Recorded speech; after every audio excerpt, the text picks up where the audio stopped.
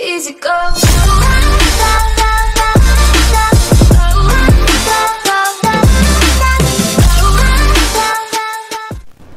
Hey, what's up guys and welcome back to my YouTube channel. It's me Said Elyas. In today's video, I'm gonna be doing a giveaway and a I went to the iceberg guys. The iceberg actually is coming closer to the map so you guys can also land on it, just build into it. You need max materials. Once you get close to it, just glide or respawn.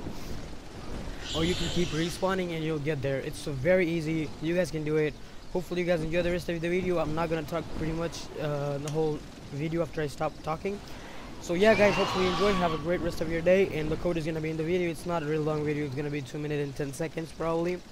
So yeah, have a great rest of your day. Bye and the code is gonna be in the video. Bye. Have a good day.